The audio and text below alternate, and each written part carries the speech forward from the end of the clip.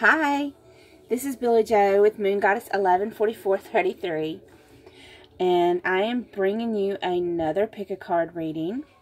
So please do remember these are general readings. There are sometimes just, you know, a couple people that watch a video, but then there's sometimes thousands of people that watch a video. And these are geared towards the whole collective. So when you pick a card, just remember that to take what resonates with you and throw out the rest. Okay. So this pick a card reading today is meant to be timeless. And this is messages to you from spirit, from the divine. Okay. So we have four decks here. And I chose bracelets to um, put on top of the deck for you to choose from. And they all have significant meaning to me. For deck one, I have this uh, bracelet deck that was made from a friend of mine. I, I knew her all growing up. Her name was Angela. And uh, she's a very dear, sweet soul. Um, she passed away many years ago of cancer. And I have always kept these. For deck two. Um, this bracelet is actually the oldest one I have. Um, I was given this uh, when my oldest daughter, Krissa, was born, Krissa Nicole. And um, it has a little shoe on it with her date of birth engraved on the back side. And then a key to represent my hopes and dreams for her. She is 28 years old now, so for deck three, I have this pink um, Helping Women Now Breast Cancer Awareness. I got this. My niece gave this to me when I was fighting and battling breast cancer, which I am a survivor of. And then breast cancer, uh, I'm sorry, deck number four. This bracelet is actually my most, um, one of my most recent ones and it's from my youngest daughter, Michaela Cheyenne. Um, and it says Mother on it.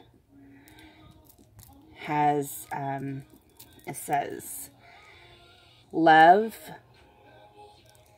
Mother, Forever. So. And do I have a favorite? No, I don't have a favorite. These these are actually I have lots of bracelets. I like jewelry and bracelets, but out of all my bracelets, these four are my favorite. They're the most meaningful to me. So um, if you need more time to pick which deck you want, just go ahead and pause the video now. I'm going to go ahead and get started with deck number one. Let me move these others out of the way.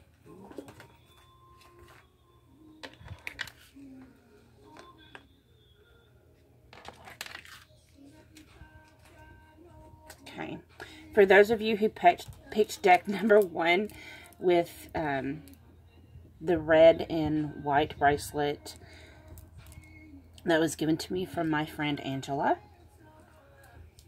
Okay. Your messages from Spirit. Let's see. So you have exchanging gifts. This card represents um, giving and receiving equally in balance. Um, it advises the opportunities. You're being given different opportunities it's offered to you um, but you must also not only are they being offered to you but you also have to keep in mind that you're going to have to put in the time and the effort.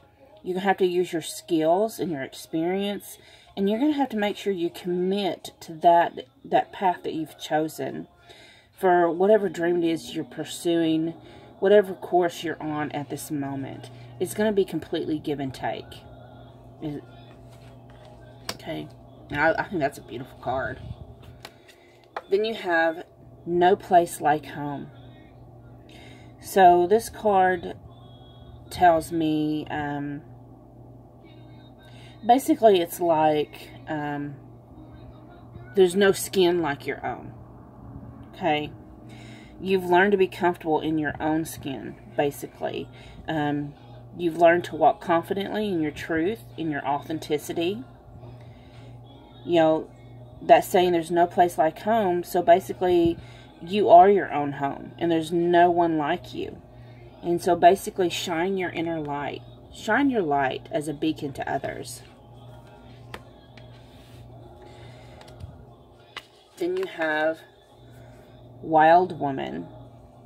Wild Woman reminds you to step fully into your true self and shed those social constraints and the cultural conformity and be who you've always meant to be.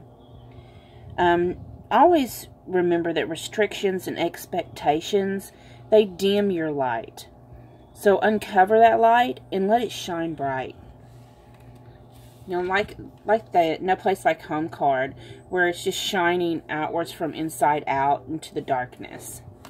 Like a, a beacon to other people. Then you have the council. So the council advises you to start listening to your inner wisdom, to not wait for further signs, but embark on the journey, to love deeply, forgive sincerely, and dare greatly. Take that leap. You have new day. It says today is your new day. You got that sun shining, them rays going upward shining on you, wanting to bless you. Whatever your endeavors are, whatever you're inspiring to do, the shine the sun is shining brightly on you. And you have ascension. Again, you have the sun shining, right? Um, so basically, this card lets you know that you are ascending into higher dimensions of consciousness. The more you go within, the more you shine your bright light, the more you ascend, the higher vibration, the higher the frequency. And then your final card is grateful.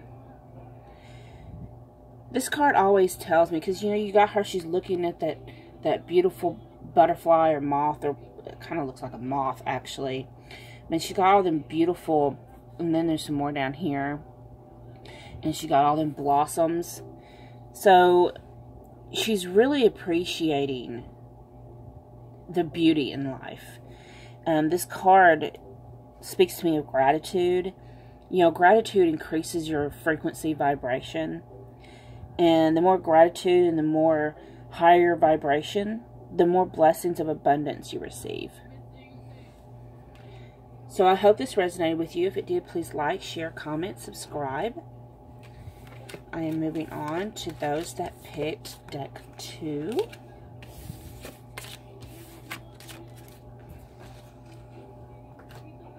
Okay, for those of you that picked deck two with the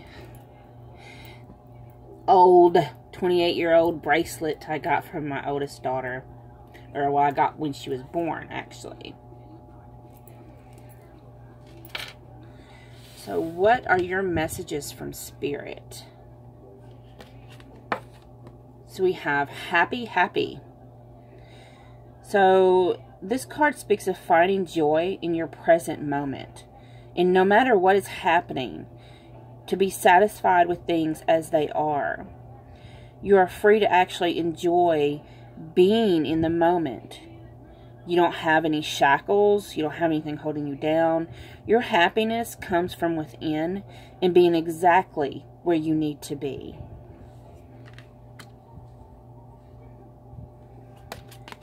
And then you have the milk and honey card. The milk and honey card basically is telling you that you are living in abundancy. Your needs are being met and you are given the gift of nourishment in every form.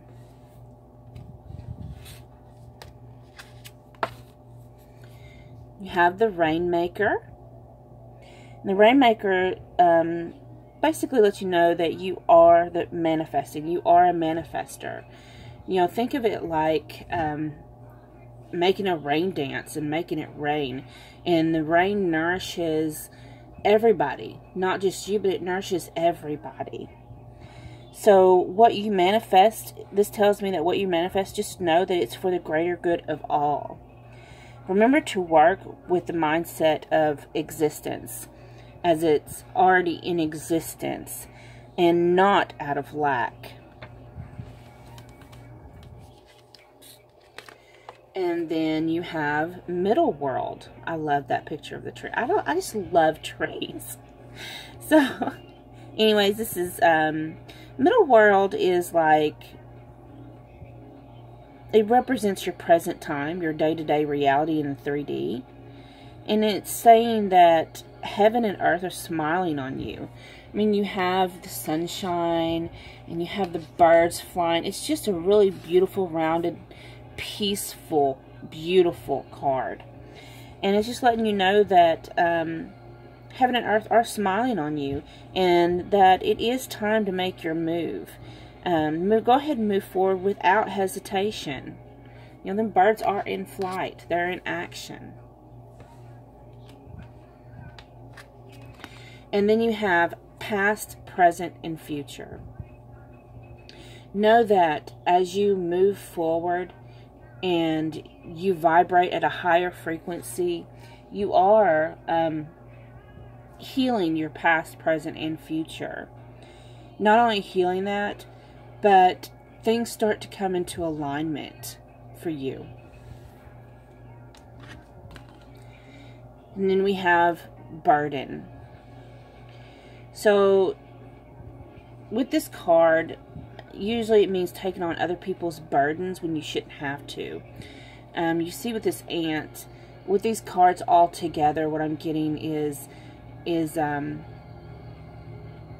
you're not burdened at all because you're manifesting at such a high frequency and a high level that you generate good for all people. Just like the ant, the worker ant, um, they work for the good of the whole colony. And flow. I love this beautiful card. So you've learned to just let go and let it flow.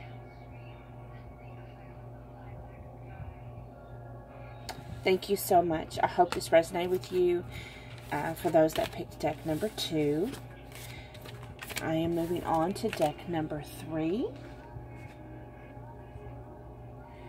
For those of you who picked the breast cancer awareness bracelet. So, you have yeah, I love this card. It's so cute. Soulmates. So this is telling you that you are in the presence of a soulmate. Um, this person is there to guide you to the true, real you. They help you evolve and transform, taking you to the next level of healing, consciousness, and authenticity. And know that those feelings that you have for this person are reciprocal, and it is the greatest gift from Source. That's so beautiful. Oh my gosh. Okay. See you next card is Imagine.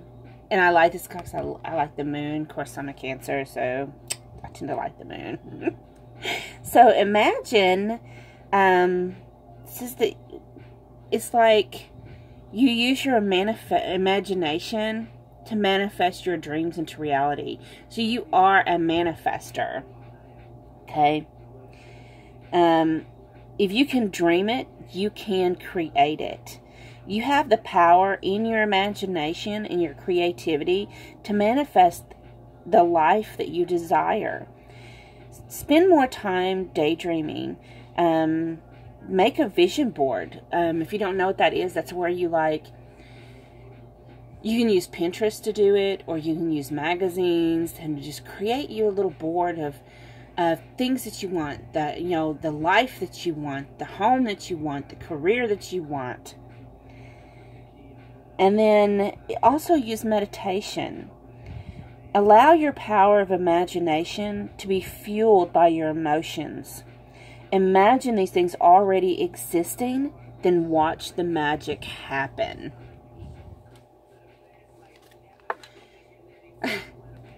you have higher power So, higher power is basically an advice letting you know that you need to be aware and conscious of your connection to spirit and to stay in contact through prayer and meditation. It's also to let you know that you are divinely protected and directed by Source. You have water. so you are in an evolutionary shift from your form, former self to your new self. And I say that because water speaks of fluidity, of um, and mainly mainly in the fluidity of emotions. Um, so if you're feeling a lot of emotions and you're not used to feeling all these emotions, just allow them to flow and to go with it. You have you have beauty way. So it's advising you to see the beauty in every situation. Don't focus on negativity or darkness. Instead, won't you point out light and help uncover hidden treasures to other people? Recognize the beauty within yourself and others. Focus on the positive, and that will raise your vibration and frequency. That that also helps with manifestation. Then you have the joy card. And I'm just feeling so much joy reading this for y'all, for those that picked deck three. Um, y'all are just in a very high frequency, high vibration emotion at this current time. Y'all are, uh, some of you I'm feeling y'all are like in love. You're in love with life. You're in love with your, some of you are in love with your job. Um, some of you are in love with your purpose and your path that you're just self-discovering. And some of you are realizing the love, the great love you have for yourself. And some of you have discovered your soulmates. Some of you have discovered you're a twin flame. And this joy just keeps rising and rising. And then you have emotional release. So this is telling me that you are healing. And, you know, all these emotions that you've got coming up, and you're purging negative emotions, and those positive emotions are growing and building. And it's like this beautiful, wonderful feeling that's bursting inside of you. And then you have learning. So this tells me that you are on your spiritual journey. You are learning. Uh, you are gaining wisdom from your not only your inner self, but from your spirit guides, from source, um, from your soulmates, and from people around you. You may even be getting uh, educated from things that people post on Instagram or Facebook or whatever. And it's funny because I don't really like Facebook. Oh my goodness, no, I'm not a fan of that. But um you are finding this is me you're finding um spiritual education in everyday life, everyday things that you encounter. So those that picked deck number three, I hope it resonated. I hope you enjoyed it. If you did, please like, share, comment, subscribe. And I am moving on to those that picked deck number four. Deck number four is um, this mother bracelet that my daughter Michaela got for me. Okay, your messages from Spirit. So you have chop wood. So chop wood is, it represents everyday life. Those chores and responsibilities, work, tasks, those mundane things that take you away from your dreams. This advises that you should know that you are where you are meant to be. These mundane tasks, they put you in the energy of receptivity. And when you're in that energy, you're able to release attachments, which brings you closer to your dreams. So here you are, you're getting stuck. You feel like you're stuck in these everyday tasks like, oh, I can't focus. I'm so busy. I got all this cleaning to do, all this washing. You know, I've got this I'm constantly got all this stuff just popping up in my life that's taking me away from having time to uh, pursue my spiritual goals and my dreams and what I'm wanting to accomplish. But in actuality, source throws those in your in your path to distract you. So those those mundane tasks put you kind of in a mode of meditation. And like even for like some people, I've had some people like some feminines who complain like, "Oh, my masculine, he just wants to play the PlayStation all day or play games all day." But that is another form of meditation. It takes their mind off of this constantly thinking and it puts their consciousness in the background so that they can receive downloads and shifts. And that's basically the same thing with these mundane everyday tasks that you have to do. It makes you more receptive to spirit. And then you have serendipity. So this tells me that you may be seeing signs and symbols, a lot of synchronicities maybe numbers like 111, 222, 333, 444, 744, 711. You know, all these different synchronicities that are actually downloads. Um, you've stepped into alignment with the greater good and are in harmony to create miracles. Do know that you are a channel for a higher power, so expect the unexpected. You have the card Why. this card, if you see, she's trying to look in this book. She's looking for answers. She's looking for education. This card tells you to ask yourself to, and to be very clear on your own understanding of why you are making the choices that you are, why you're behaving the way you are in a certain way, or even looking for this answer in this reading, maybe. Um, you need to look for your reason of why. What's your intentions? Your why is the energy that brings the seed to life.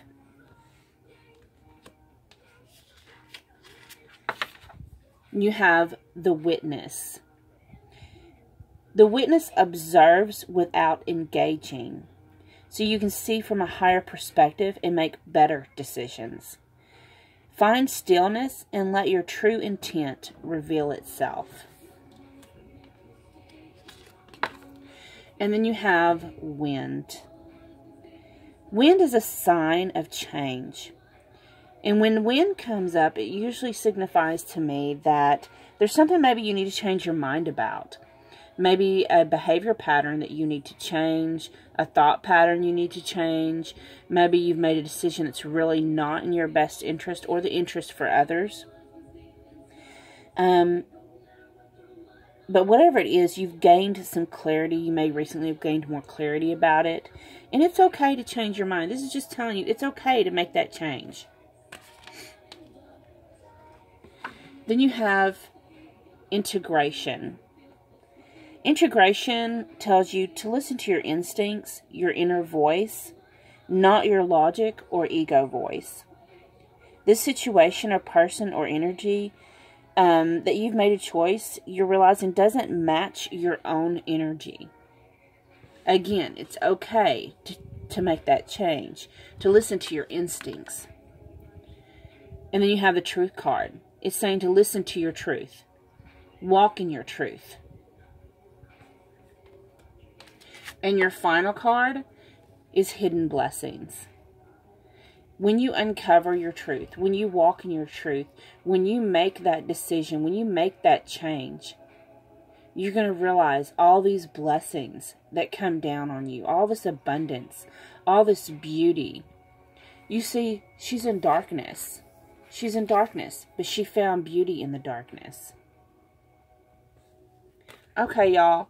I hope you enjoyed this. If you did, please like, share, comment, subscribe. And until next time, bye.